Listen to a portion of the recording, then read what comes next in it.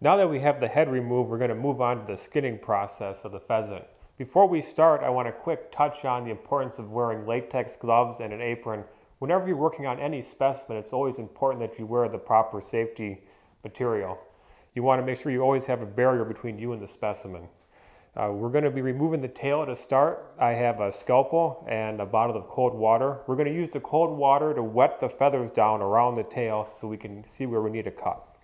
So to start, we're going to lift up the feathers to expose the tail area. We're going to spray these feathers with water so we can clearly see where we need to cut. We're going to cut right above or underneath the oil gland. We're going to expose the feather quills of the tail. We're not going to cut, we're only going to cut the distance of the tail feather quills. We'll take our scissors and cut through the tail bone. We don't want to cut through the feather quills of the tail, just through the tail bone itself. We'll now flip the bird over and basically repeat that process on the underside of the tail. We'll lift up the feathers.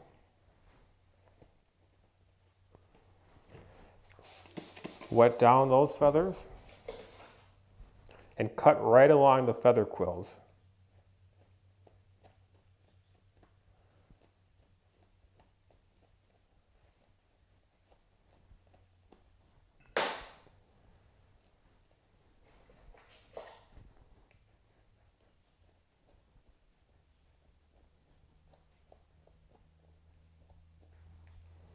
Now pull the tail right off. Later in the video, we'll go over how to remove all of the meat and other tissue from the tail, but for now, we'll set it aside and move on to the belly incision. Moving on to the belly incision, we want to separate the feathers down the breastbone. To do that, we will wet down all the feathers on the breast area, and we'll slowly start to separate these feathers so we can have a clear line to make our belly incision.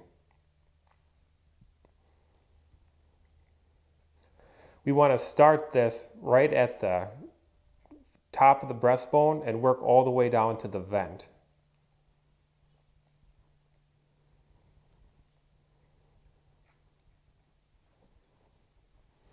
Now that we've made a clear path to make our incision, we'll go ahead and take our scalpel and make one clean cut right down that line.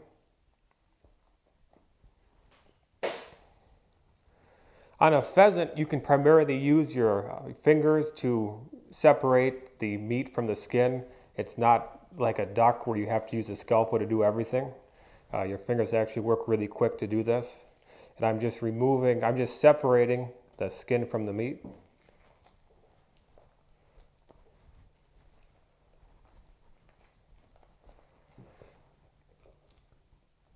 As you can see, we've completely separated the skin from all the breast meat on both sides and the front and right down to the vent. We'll now start on the legs. We'll grasp the leg with one hand and start inverting that.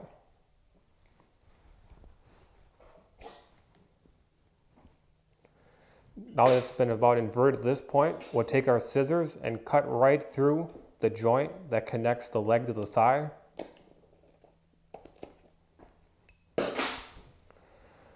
Again, we're going to continue to invert this leg. You want to make sure that you don't cut through the skin.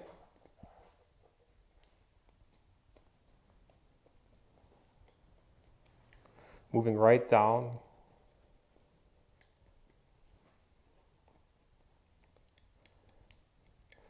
You can also use your thumb to do this as well. And if you need to, you can put a little bit of borax on it just to give yourself a little bit more traction.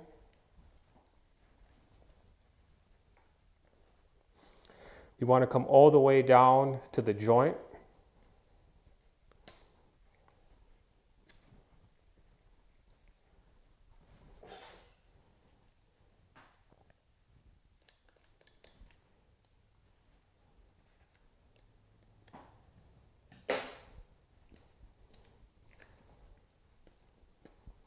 Now that we've pulled the skin all the way down to the joint, we'll take our scissors and cut right through all the tendons and meat on both on all sides of the leg bone. Then we'll simply take our scissors and cut right up the leg bone, detaching the meat from the bone.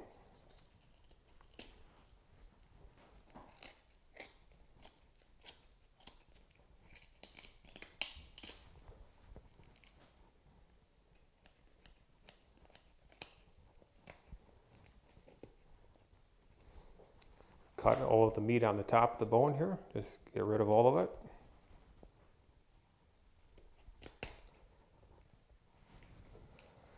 At this point, we could either drill down through the top of the bone to remove the marrow, or we could cut this right off with our scissors. We're going to cut it off in this case. We'll take a paper towel and a wire. This is a 12 gauge wire. We'll wrap this right around the leg and we will remove the marrow from the bone. It's important that you remove the marrow from the bone or as this could bleed grease down onto the feet. It could also attract bugs or and it could start to smell after the mounting process. Just remove all that marrow. The rest of this will come out during the washing process. And we'll remove the rest of this meat during the fleshing process on the wheel. We'll just clean it up a little bit more. Now that we've removed the other leg, we're going to continue the skinning process. We're going to skin down and around the vent and the tail area. So to do that, we are going to balance the bird on its neck area and start to pull this skin back around the vent and tail. We want to carefully cut right along the skin. Again, pulling as we go.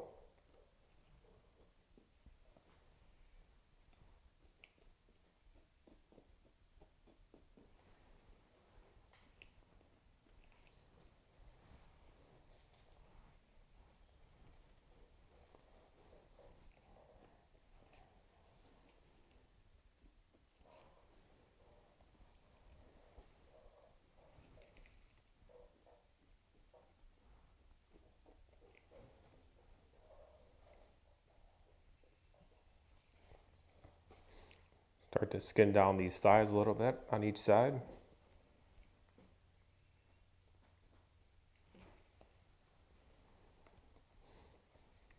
We're approaching the tail area. Want to skin right around the tailbone.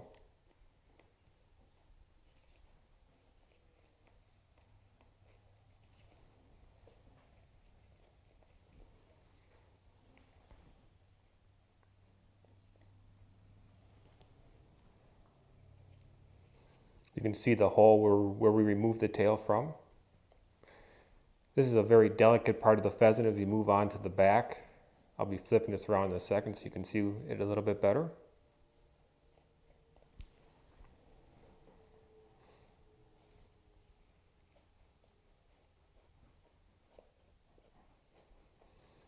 Now that we've skinned this far on the bird, we're actually going to hang it to make it easier to skin down the back.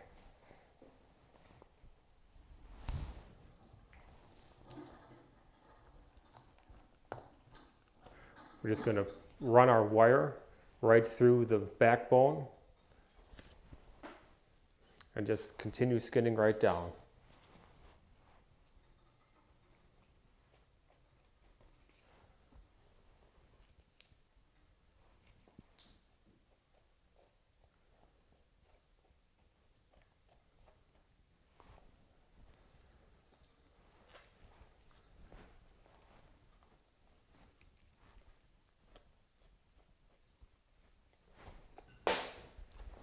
We can also use our fingers to uh, pull this meat right down, separate the skin,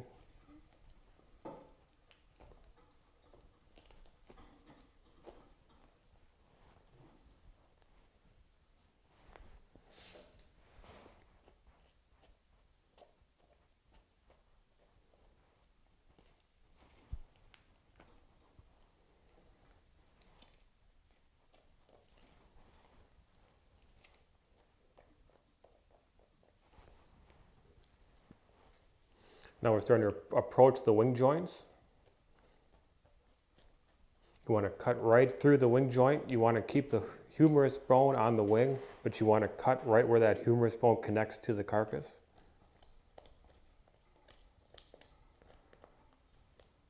You can see here's the humerus bone right here, and here's where it connects. We're just going to cut right in between those two to separate that.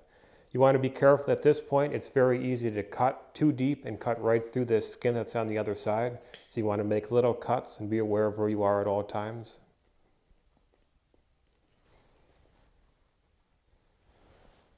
We're going to grab right onto the wing itself and continue cutting just to separate that.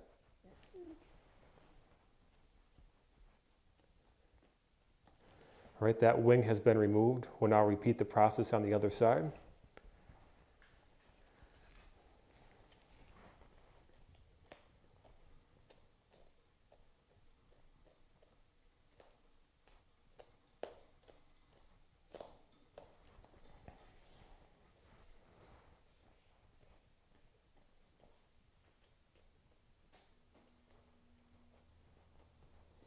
Now that both wings have been removed, we're going to start skinning down the neck.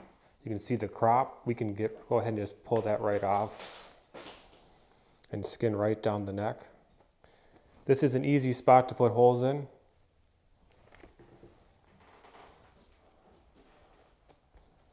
At this point, we can pull this right off the neck. And I will set this carcass aside for future reference. Now that we have the bird skinned out, we want to go on to working on the wings, removing some of the excess meat from the skin, and turning the pheasant wattles. This is a fall pheasant, so it doesn't have as big of wattles as a spring pheasant does, but it still has some areas that will need to be turned so we can fill that later on with caulking. To turn a pheasant wattle, you need to find the line where the wattle starts and the skin starts, which is right here. Smooth to feather quill area. The smooth area is the wattle, the feather quill area is the feathers on the head. So we want to cut right along that line. And we're just separating and opening up the wattles very similar to turning the lips on a deer. Like I said, this is a fall bird, so they don't have to be opened up very much.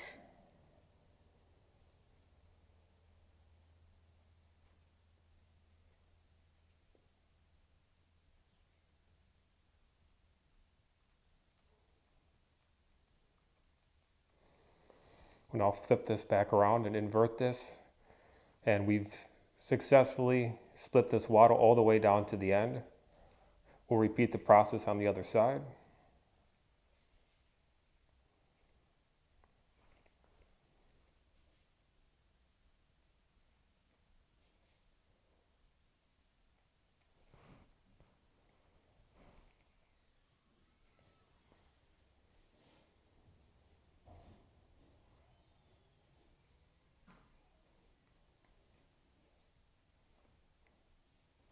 Uh, we've successfully split that all the way down.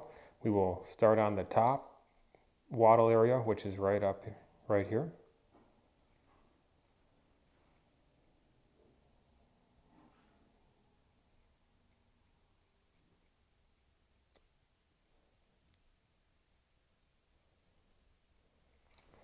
That's also been turned all the way out to the end. We'll repeat the process on the other side. Now we'll move on to casing out the wings. We're going to use the case skinning method on these wings. There's a couple of other methods that you could also use, but today we're going to just do the case method. To start, we want to grab right onto the wing and start to separate the meat from the skin.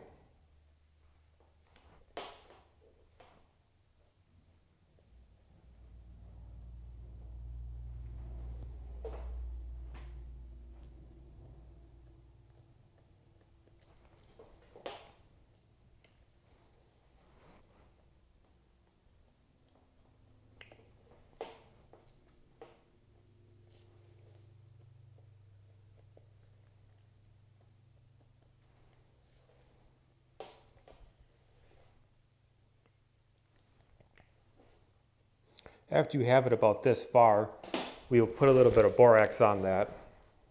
You can actually start peeling the rest of the skin off the wing using our thumb. So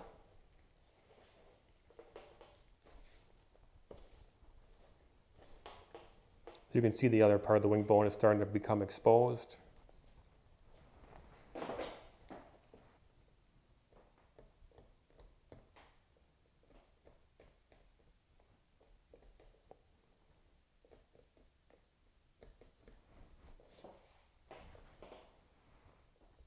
You want to skin around this joint.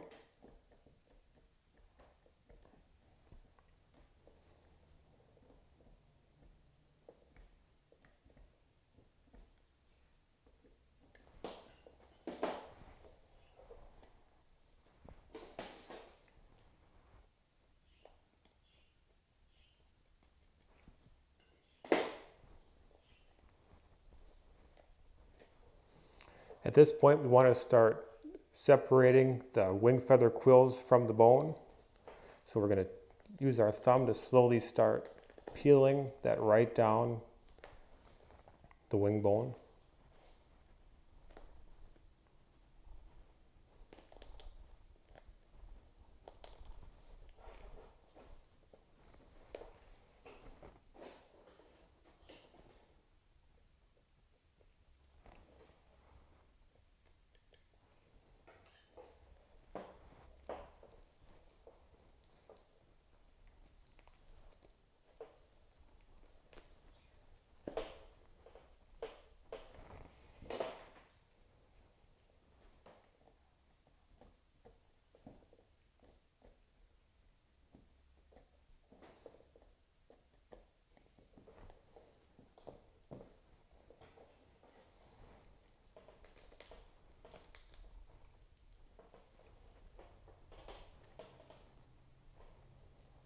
Going to continue to invert this wing. I'm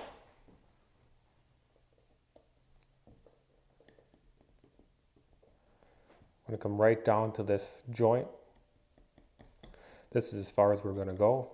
We're not going to worry about skinning out the ana at this point.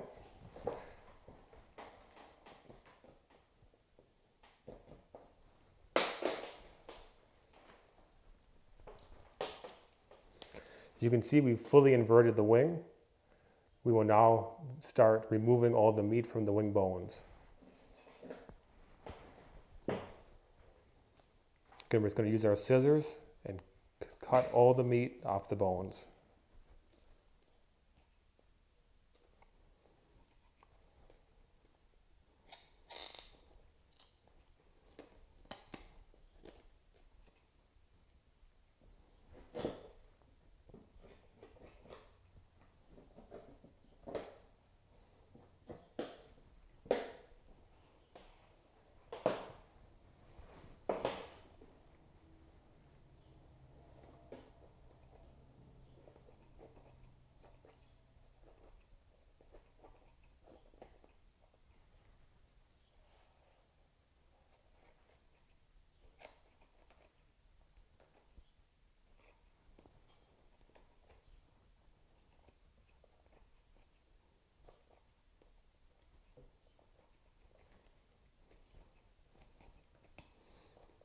You can see we have most of the meat removed from the bones. The rest of this will be taken off during the period when we're on the fleshing wheel. We'll use our wire wheel and remove the rest of this meat. Now we're going to start casing out the other wing.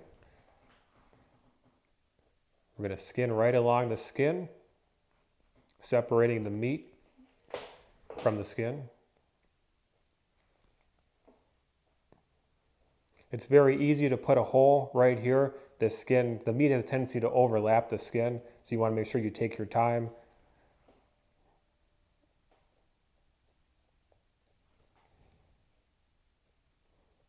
I'm going to work on the other side a little bit.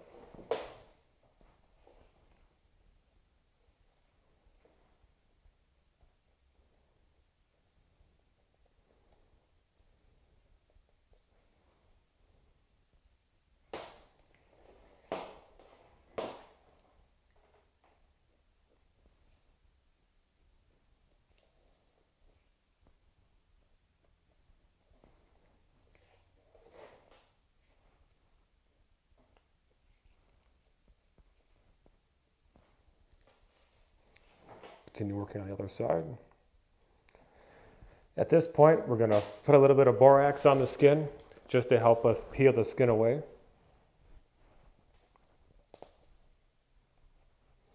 It's going to start peeling and pulling the skin off the wing. Work on the other side.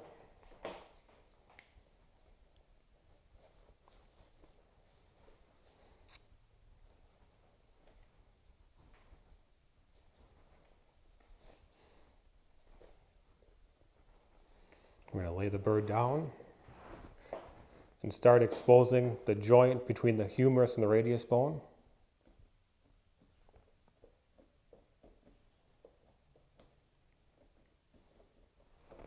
Flip it over and work on the other side.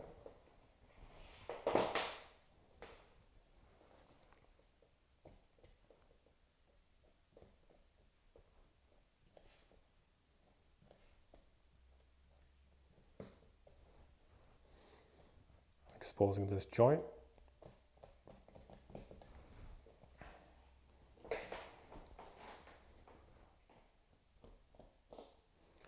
Now that we have the joint exposed on the front of the bone here, we want to start working on the back and separating the feather quills from the radius bone. To do that, we'll apply a little bit of borax and we'll take our thumb and just start peeling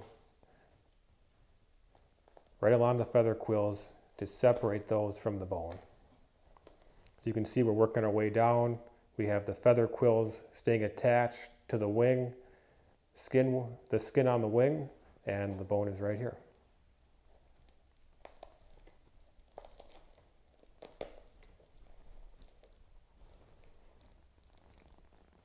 We're going to continue to peel the skin off of the wing. Now we're going to start to pull the wing bone out of the wing. You want to be careful when you're doing this that you don't tear the wing skin.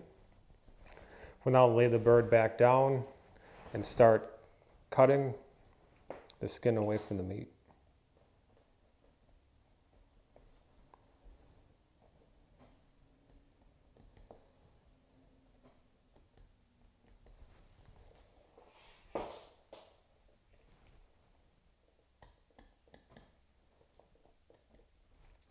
Use a little bit more borax, provide a little bit of traction as we slowly start to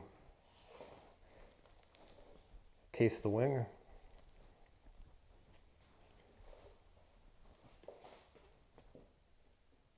Want to come right down to where the radius meets the ulna, right at that joint. That's where we're going to stop skinning.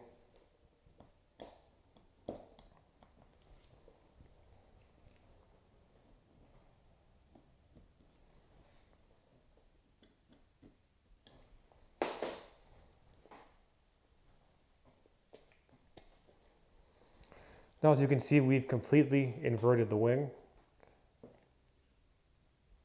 We will now start removing the meat from the bone. Now we'll start removing the meat from the bones. We'll use our scissors and just cut the meat right off the bones.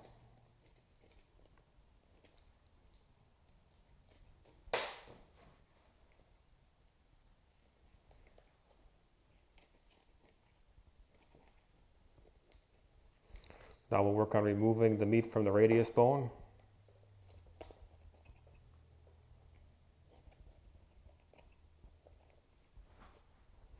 Flip it around and work on the other side.